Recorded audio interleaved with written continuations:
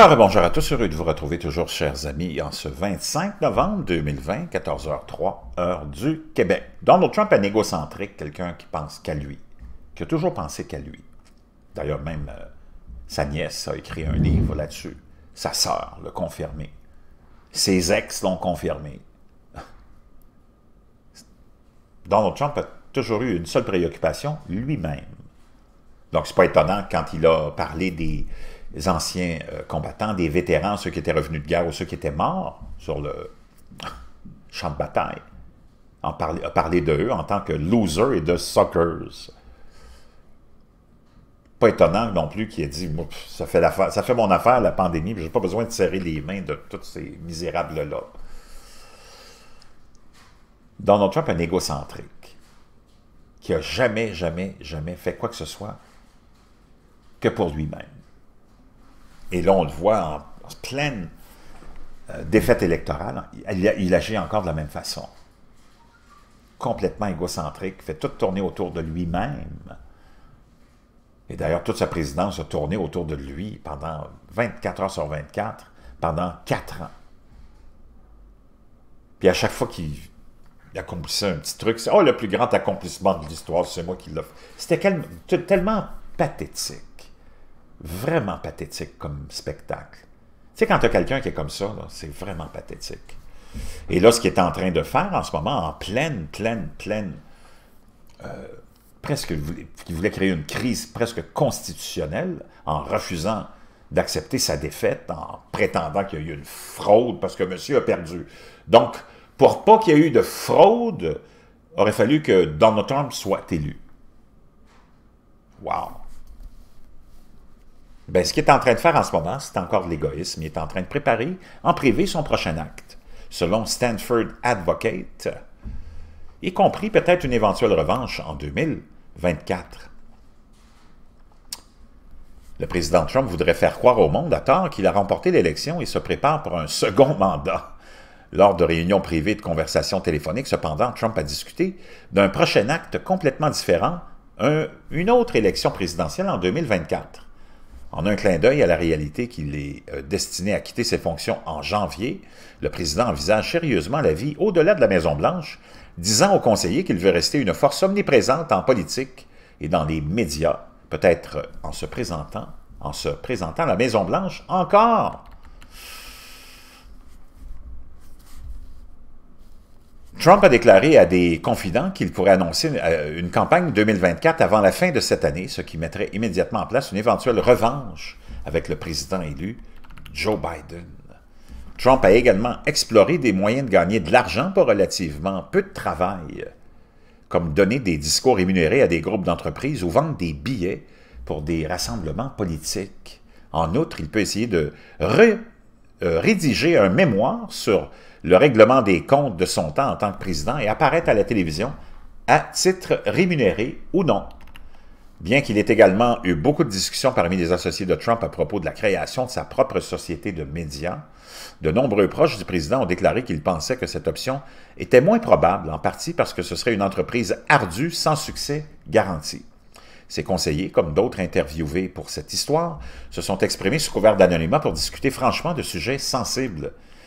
Il y a également des pressions sur Trump pour monétiser sa post-présidence à la lumière de sa dette personnelle et de ses problèmes juridiques. On sait que Donald Trump a une dette de 400 millions qu'il pourrait facilement payer avec l'aide des suckers qu'il finance, ces 70 euh, millions, ben, pas les 70, mais les 40% de ces 70 millions qui seraient prêts à donner sa chemise il a des paiements dus au cours des quatre prochaines années pour plus de 400 millions de dollars de prêts et pourrait encourir des frais juridiques importants liés à une multitude d'enquêtes et de poursuites. Trump essaiera de rester une force politique et médiatique, a déclaré Christopher Rudy, un ami de longue date en contact avec le président. Il a toutes ses entreprises existantes, il aura de nouvelles relations. Quelle que soit la plateforme qu'il décide d'utiliser, Trump prévoit de se venger de ceux qui, selon lui, l'ont trahi un groupe qui comprend Fox News Channel, que Trump louait depuis longtemps pour la couverture sycophantique de certains de ses programmes, mais cherchait maintenant à punir. Trump a dénoncé en privé le débat présidentiel modéré par Chris Wallace de Fox News, le fait que le réseau ait été le premier grand réseau d'information à appeler l'Arizona pour Biden, et que l'un des euh, correspondants de Fox a confirmé le reportage de l'Atlantique, d'Atlantique selon lequel Trump avait qualifié les membres du service militaire de suckers et de losers, qu'on traduit par ventouses et perdants ici. Il est vraiment en colère contre Fox, a déclaré Rudy, qui dirige Newsmax, une société de médias conservatrice dont le président a promis la chaîne câblée comme alternative à Fox. Une chaîne vraiment conspirationniste aussi, Newsmax. Si tu veux entendre de la propagande puis du n'importe quoi, tu t'en vas sur Newsmax. C'est juste ça. Des mensonges et du n'importe quoi. Après l'inauguration de Biden, Trump se retira probablement d'abord en Floride, où il passe des vacances en hiver dans son club de Mar-a-Lago, ont déclaré des conseillers. Pendant son mandat, il a changé son inscription électorale de New York à Palm Beach, en Floride. Les personnes qui ont discuté des plans avec Trump ont déclaré qu'il était susceptible, susceptible de s'impliquer immédiatement dans, ces entreprises dans lesquelles les revenus ont plongé. La fille de Trump, Ivanka, le gendre Jared Kushner et d'autres enfants adultes se sont davantage concentrés sur leur propre avenir que celui du président, même si leurs euh, options de carrière et leurs marques personnelles lui sont inextricablement liées, selon un haut responsable de l'administration qui s'est exprimé avec les membres de la famille. Alors même que Trump et certains de ses avocats continuent de propager des complots non prouvés et prétendent qu'il est le vainqueur légitime de l'élection, son orbite politique bouillonne ces derniers jours avec des discussions sur la façon dont la post-présidence de Trump prendra forme et comment un homme obsédé à être perçu comme un gagnant pourrait essayer de fumiger la puanteur d'être un perdant. Un conseiller qui s'est récemment entretenu avec le président a déclaré que Trump lui avait dit qu'il prévoyait d'annoncer une nouvelle campagne dans trois semaines et qu'il souhaitait agir rapidement pour essayer de geler la, vaste, ou le vaste champ de candidats à la présidentielle républicaine 2024, de 2024 potentiel.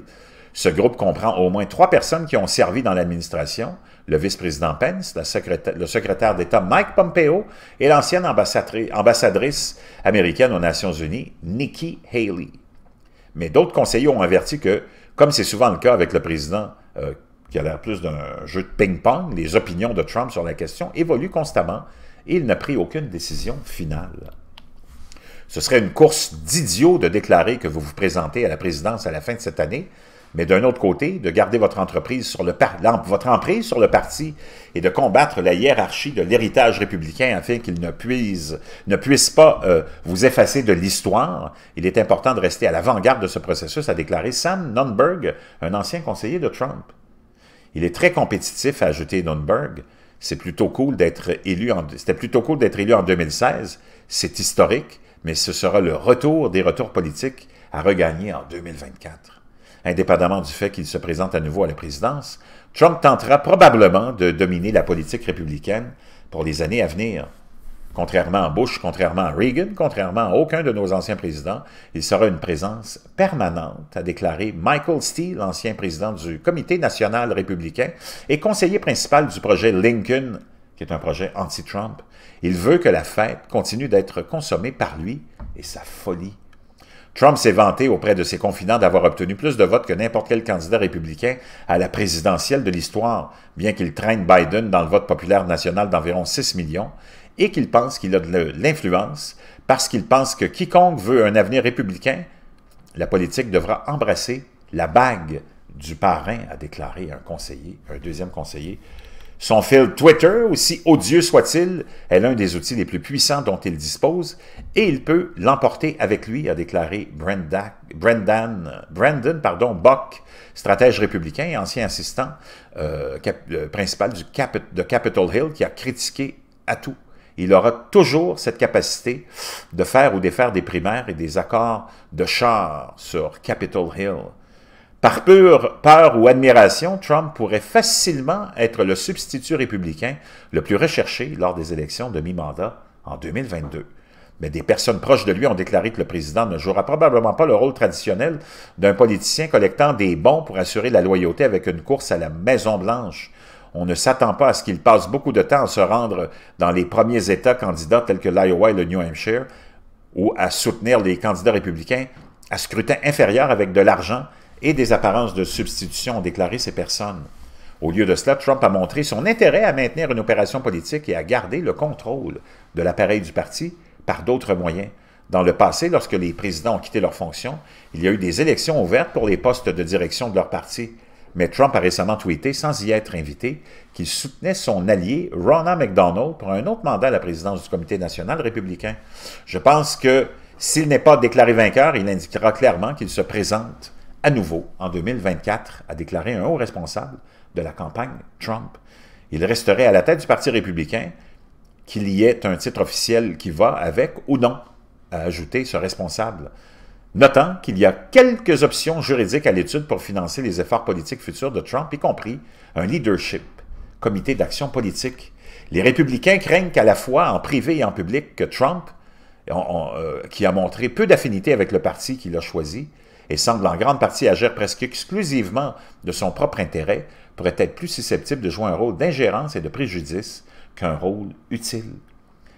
C'est pour ça que je vous amène des articles comme ceux-là qui vous décrivent ce qui se passe vraiment et vous donnent des analyses de gens vraiment rationnels et qui sont dans vraiment euh, euh, le secret des dieux. Tu n'es pas là avec des conspirationnistes, des illuminés, qui te parlent d'une cabale de, cabinal, de cannibales mangeurs d'enfants, là. Tu sais, franchement, puis de combats cosmiques entre, avec Trump et Poutine. Là, ça, c'est les, vraies affaires. C'est vraiment terre à terre, mais si tu veux en apprendre, c'est des, des sites comme ça que tu dois découvrir. C'est pour ça que ça me fait plaisir de vous les faire découvrir pour que vous reveniez à une réalité un petit peu plus euh, terre à terre. Là. Les républicains craignent à la fois en privé et en public que Trump, qui a montré peu d'affinité avec le parti qu'il a choisi et semble en grande partie agir presque exclusivement dans son propre intérêt, pourrait être plus susceptible de jouer un rôle d'ingérence et de préjudice qu'un rôle utile. Si vous laissez une maladie continuer sans traitement, vous n'allez pas mieux, a, déclaré Steele. Tu deviens juste plus malade. Par exemple, Trump n'a guère fait jusqu'à présent pour aider les républicains lors des deux élections au second tour du Sénat, très disputées en Géorgie au début de janvier qui détermineront quel parti contrôle la Chambre haute.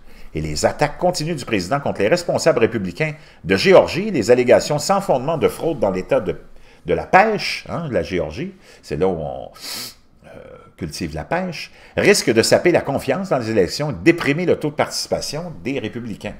Certains conseillers ont organisé un voyage en Géorgie pour aider les représentants du parti, David Perdue et Kelly Lawfer, comme Pence l'a fait vendredi, mais Trump a montré peu d'intérêt à le faire avant la finalisation de l'élection présidentielle. Un haut responsable de l'administration qui s'est entretenu récemment avec le président a déclaré que s'il était très difficile de prédire ce que Trump pourrait faire, il y a un pourcentage très élevé de chances qu'il laisse la porte ouverte pour qu'il se présente pendant longtemps pour les deux prochaines années. Ce responsable a ajouté que vous ne le persuaderez pas qu'il devrait changer son calendrier pour prendre une décision en fonction de ce qui est le mieux cité, sans citation pour le parti. Il s'en fiche. 2023, il n'a toujours pas dit définitivement qu'il ne courrait pas et vous allez juste voir ses prétendants potentiels de 2024 incertains de ce qu'ils vont faire ou de ce qu'il faut faire. On s'attend à ce que Trump veuille organiser des rassemblements dans sa poste-présidence, notant que prendre la parole lors de rassemblements était sa partie préférée de sa présidence parce qu'il se nourrissait de l'énergie de sa foule bruyante. Si vous pouvez amener 30 000 personnes à se présenter et que vous leur facturez 5 dollars, c'est de l'argent réel, a déclaré un républicain en contact avec la Maison-Blanche, en contact fréquent avec la Maison-Blanche. L'influence de Trump sur les électeurs républicains restera probablement forte. Ne prétendons pas que son influence sur le parti était basée sur sa gouvernance ou ses opinions politiques, a déclaré Bock c'était sa capacité à utiliser sa voix très forte et à attirer l'attention pour lui-même. Et cela ne changera pas. Wow! Vraiment fascinant comme euh, analyse de Stanford Advocate. Vraiment fascinant. C'est pour ça que je voulais vous partager euh, cette analyse-là.